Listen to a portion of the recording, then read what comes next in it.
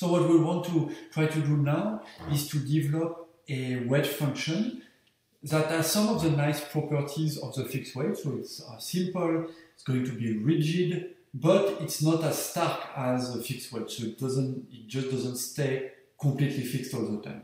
Okay, um, and so we'll call that a rigid wage instead of a fixed wage. That's another. Uh, that's going to be another wage function that we'll consider.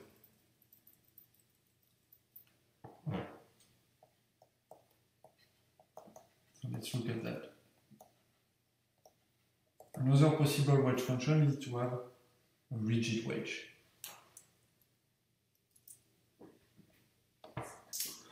So um, how do rigid wages look like? Um, so the simplest um, wage function that we can think of that generalizes the fixed wage but that's not completely fixed would be something like this. Uh, so a rigid wage could take this form.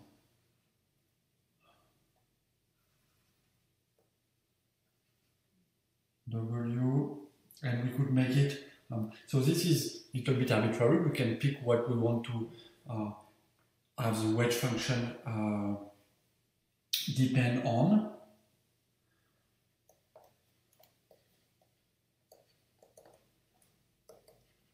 Um, so empirical evidence suggests that wages, as I was saying, um, do depend on productivity. That seems to be the main factor that influences wages paid to people, how productive they are, which you know is not very surprising. If you're very productive, you're more likely to be paid more. If you're not very productive, you're likely to be paid less. And if your productivity fluctuates, your wage may fluctuate also. Um, and in fact, if we think a little bit about the real world, um, there are kind of contract features of contracts that, that capture exactly that. So, for instance, anybody who is paid with a, a bonus that depends on their performance has a wage that reflects their productivity. If they are not very performant in a given year, the bonus will be low, the wage will be low. If they are very performant, the bonus will be high, the wage will be high. If you're a salesperson and you, are, you get commission on your sales, it's exactly the same feature. If you sell a lot, uh, so you're very productive for the firm, you're going to get a higher wage. If you sell little, you're going to get a, a lower wage. Uh, and even, you know, tipping could also be a way uh, through which wages capture uh, workers' performance on the job. Um, so there are many features of real wage contracts that tell us that wages are going to reflect somewhat productivity, or even if it's only imperfectly. Um, so, so we're going to uh, take that into account. So we'll have a wage that depends on this technology parameter in the production function, which captures um, the productivity of worker. So if you want that captures labor productivity. So we'll have a wage that depends on that labor productivity, which is a parameter. And you know, uh, the simplest form we can imagine would be to have omega here.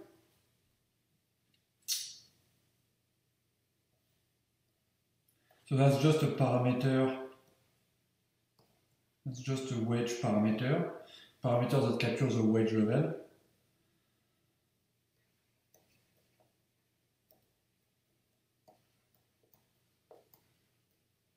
times A, which is our productivity, with an exponent gamma. Okay? And gamma, it's another parameter. So we'll assume that it's between 0 and 1.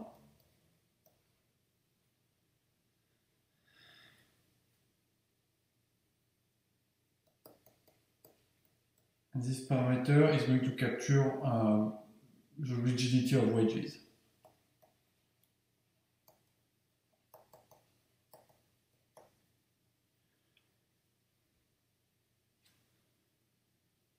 That's going to be our uh, rigid wage here.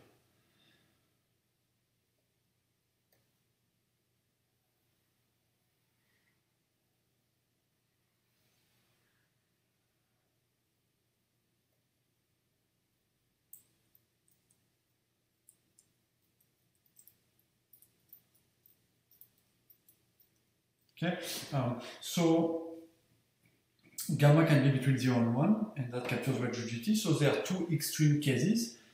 Gamma equals 0, then we get that the wage is equal to omega, which is a parameter. So here we are back in the situation with a fixed wage that we dealt with earlier. Gamma is equal to 1. Then we'll have that the wage is omega times A. This type of situation where the wage responds one-to-one -one to the productivity. So if productivity doubles, the wage doubles, that's what we call a flexible wage.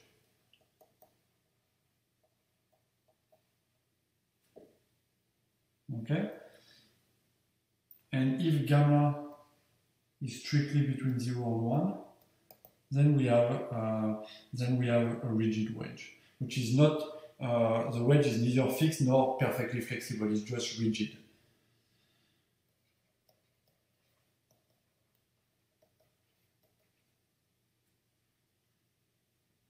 And uh, but it, it turns out, so what's nice with that specification that we've just introduced, that um, the wage is omega times the productivity to the power of gamma, is that gamma um, is something that we can uh, measure in the data. So gamma is the elasticity of the wage with respect to um, labor productivity.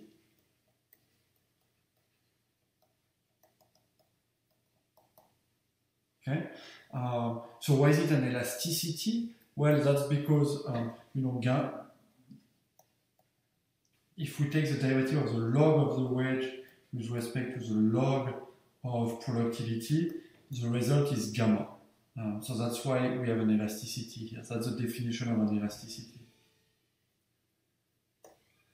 An elasticity is a, it's a, the derivative of the log of a function with respect to the log of the argument. So it's telling you the percentage change, uh, gamma is giving you the percentage change in the wage when productivity changes by uh, 1%. So that's why it's an elasticity. Um, so if you have an elasticity on 1, it means that if the productivity changes by 1%, the wage will change by 1%. That's what happens when you have flexible wages here. If you have an elasticity of 0, it means that if your productivity changes by 1%, the wage will not change at all. That's what happens if you have fixed wages here. If you have an elasticity between 0 and 1, it means that when your uh, productivity changes by 1%, the way, so your, let's say your productivity goes up by 1%, your wage will go up but it's not going to go uh, up by all the way to 1%. It will go up by maybe 0.5%, 0.2%, 0.3%, okay? Uh, depending on what the value of the elasticity uh, uh is. Okay, um, but and it turns out that if you look at the data, if you follow workers over time and you see how their productivity changes, how their wages change, you find that you know gamma in, in the US it's you know between 0.3 and maybe 0.7.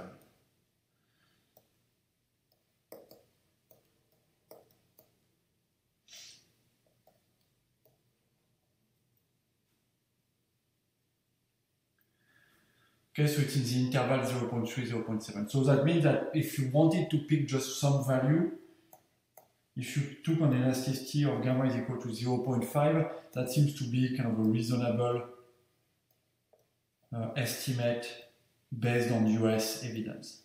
Okay, so what that means, an, an elasticity of 0.5, it means that if productivity goes up by 1%, your wage goes up by half a percent. Okay, that's what the evidence seems to suggest.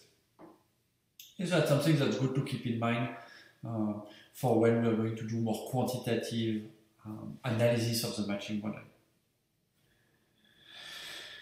Okay, um, so we've introduced fixed wage, uh, we've introduced something that's less extreme than the rigid wage, or in terms of um, just if you want to look a little bit at the literature. So actually that type of assumption the, that was introduced in a very influential paper by Blanchard and Galí that was published in 2010.